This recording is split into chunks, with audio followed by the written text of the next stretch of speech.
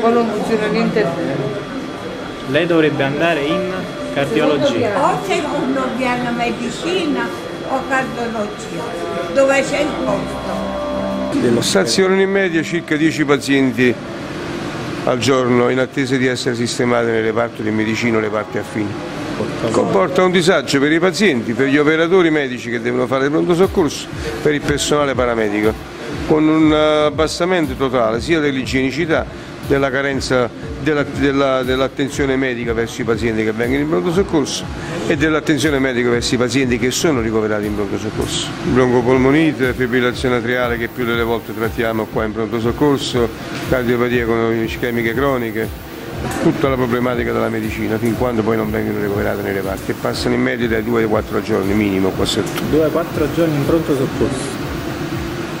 L'assistenza poi nel pronto soccorso è viene, il reparto? No, viene garantita con un grande sacrificio da parte dei, dei paramedici che oltre a fare pronto soccorso devono anche ehm, prestare servizi, opera e soccorso ai pazienti ricoverati.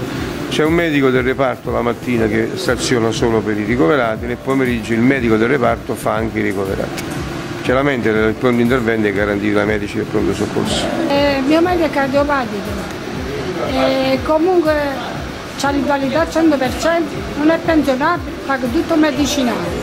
Quindi dovrebbe andare in un reparto di, di cardiologia. Eh, e c'è stato e comunque sta sempre lo stesso. È bello buono, mi fanno vedere, un bello cardiologo, mi viene a visitare quando non niente. E questa è la situazione. Gli ospedali non fanno niente più. Voi siete state ricoverate anche in altri ospedali? Sì, sì, al Cardarello, sono stato ricoverato la Loreto ma gli ospedali non fanno niente più. Sebbene esiste una struttura commissariale, sebbene esiste un piano di rientro, praticamente si è fatta solo un'operazione di tipo ragionieristico di tagli, ma non si è provveduto assolutamente ad una politica strategica di sistema. Noi parliamo di tagli eh, praticamente di almeno 250 strutture complesse e di almeno 1000 strutture semplici nella regione Campania. Cioè lei deve fare una visita dall'endocrinologo. Endocrinologo. A febbraio l'ha prenotata? A febbraio, no, a gennaio. A gennaio. A gennaio, ha a ottobre.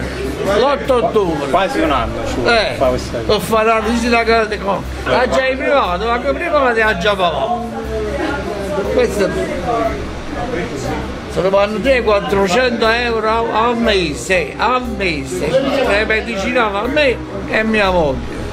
E come fate? Ed in realtà 500 mila di, di pensione tra condominio e pensione. Dite per me come mangia campagna, come vivo. Ma poi non rimane niente della Quanto rimane? Ci vuole restare a piedi, già farebbe, perché non ci faccio a vivere. Non ci può stare qua, perché io tengo una, una fibrazione pazza, malata. Hanno chiuso i manicomi, ma non hanno attaccato. Cioè qua chi ci sta in questo pronto soccorso? Ci stanno ah? quelli che non vanno bene con la testa, gente che non stanno bene con la testa, noi abbiamo anche paura di stare in questa stanza. Dottore, chiamatelo qua, Ciro, Ciro, Ciro, lo dobbiamo uscire. Non mi trattate male. Lo dobbiamo uscire, su, andiamo. Ciro, mo dobbiamo uscire. Dottore, a lavorare, dottore. Non mi dopo invece chiama Sciulli. Su, Ciro, andiamo. Arrivano perché purtroppo, purtroppo questo è l'unico centro che che accoglie Napoli 1, Napoli 2 e anche Napoli 3 per i malati di igiene mentale. Vengono tutti quanti qua per, di pronto soccorso con il 118 o a piedi. Il sovraffollamento degli ospedali prevalentemente dipende dalla mancanza di un filtro cioè nel senso che non funzionano i filtri territoriali o almeno non sono stati costruiti perché non è possibile che nell'ospedale si vada per la banale influenza. Il problema è che si va in ospedale perché non c'è una risposta territoriale, questo è il discorso. Per cui prima di mettere mano alla riorganizzazione della rete ospedaliera si deve prima creare la rete territoriale.